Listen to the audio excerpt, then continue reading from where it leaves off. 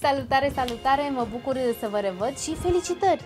Ați devenit mămici sau veți deveni mămici curând. Știu că foarte multe o să vă întrebați, ok, bun, și acum ce se va întâmpla? Foarte multe femei sunt copleșite de noua ipostază în care se află și uită că pentru a fi o mamă cât mai bună trebuie să știi să ai grijă de tine, de sănătatea ta fizică și emoțională. Așa că astăzi vreau să vorbim despre câteva lucruri pe care ar trebui să le faci după ce naști pentru a nu te lăsa copleșită de schimbările din viața ta. 1. Ai răbdare cu tine. Dacă ești la primul copil, primele zile sunt un tărâm necunoscut pentru tine, dar asta nu trebuie să te sperie. Alăptare, primele nopți nedormite sau prima băiță pot părea o provocare, dar o să vezi, intuiția te va ghida și vei prinde foarte multe lucruri din mers. 2. Acceptă ajutorul. Nu-ți contestă nimeni rolul de mamă sau meritul uh, pentru că l-ai adus pe lume dacă din când în când simți nevoia să iei o pauză. Acceptă ajutorul celor din jur, chiar dacă ți se pare că nimeni nu face lucrurile mai bine decât tine. O să vezi că poți lăsa și în grija tatălui câteva sarcini și se va bucura să te ajute. În timpul acesta, tu poți să te relaxezi câteva ore ca să te bucuri de această perioadă. 3. Ai grijă de alimentația ta. Asigură-te că ai o alimentație corectă și încearcă să consumi măcar o masă caldă pe zi. Evita alimentele prea grase sau prea procesate sau pe cele condimentate. Include în dieta ta cereale precum ovăzul, orzul, meiul, quinoa și orezul brun. Ovăzul este cel mai popular în rândul momicilor pentru că poate fi servit cu ușurință la micul dejun, cu lapte sau cu iaurt. Este consistent, bogat în fier și ajută la creșterea depozitului de lapte matern. Se recomandă să se consume zilnic. 4. Consumă suficiente lichide. Oricât de simplu ar părea, pe atât de important este să bei apă. Alăptarea scade fluidele din corp și deși consumul de apă nu te ajută să produci mai mult lapte, te ajută să previi deshidratarea. Bea apă des, cu mici înghițituri și nu aștepta să ți se facă foarte sete pentru că asta înseamnă că deja te-ai deshidratat.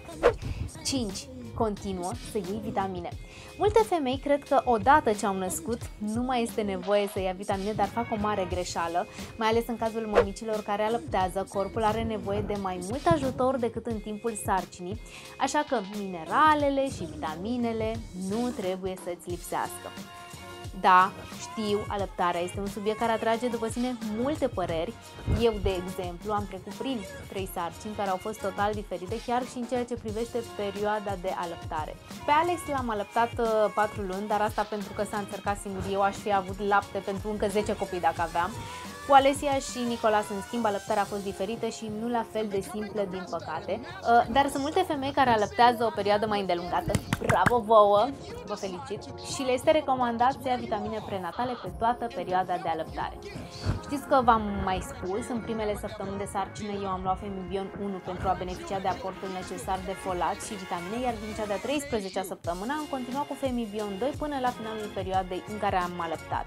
Iar dacă alăptezi, este foarte important să continui cu vitaminele cu DHA omega-3, deoarece DHA maternal contribuie la menținerea funcției normale a creierului și la menținerea vederii normale a copilului, iar în acest moment tu vei fi singura sursă de vitamine și minerale pentru bebelușul tău. Uh, DHA este un acid gras omega-3 concentrat în special la nivelul creierului și al retinei. Dintre acizii grași omega-3 din creier și retină, 97 respectiv 95% constau în DHA.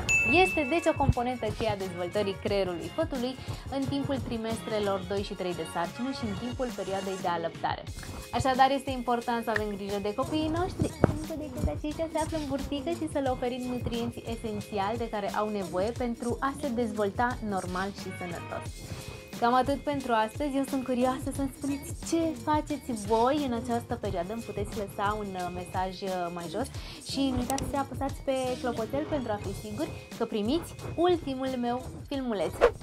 Vă pup, vă doresc să vă odihniți și să vă bucurați din plin de această perioadă. Pe curând!